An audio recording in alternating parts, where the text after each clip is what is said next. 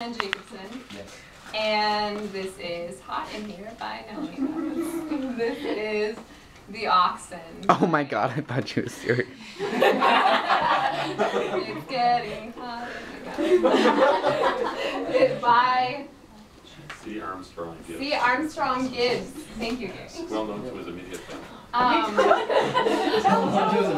myth that It's- this is based on. This is based on a. I'm not on a- entirely. It's it's weird. It's a weird song. Oh. It's um. Good, good. It's Sorry. very good. Um. It's based on, it's based on, I think it's an Appalachian folk Yeah. tale that at midnight, the oxen kneel in, uh, at, on the fields, the, the animals and the, the oxen, the sheep. And they, at midnight on Christmas Eve, they kneel. But they won't do it if anybody is watching. So they just. What if I was So hiding? how did they know? So you just. Yeah, what if you're invisible? You won't do it. It's like Santa Claus.